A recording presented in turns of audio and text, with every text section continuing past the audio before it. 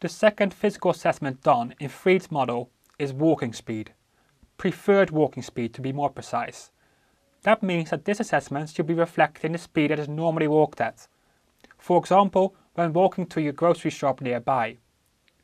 The length of the walk doesn't have to be very long, around 8 meters should be enough. That effectively enables you to get up to your preferred walking speed in the first 2 meters. Then start timing how long it takes to walk 4 meters and 2 meters to stop in a relaxed manner. The time it takes to cover 4 meters, or sometimes 3 meters if space is limited, can then be used to calculate your walking speed by dividing the distance with the time taken.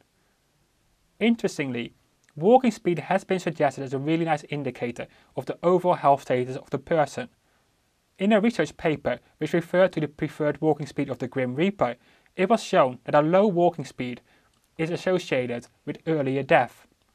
In other words, walk slow and the Grim Reaper will find it easier to catch up with you. In particular, if your walking speed was below 0.8 meters per second, that was the walking speed where the Grim Reaper was most likely to catch you. However, if your walking speed was above 1.2 meters per second, you were very likely to outpace the Grim Reaper.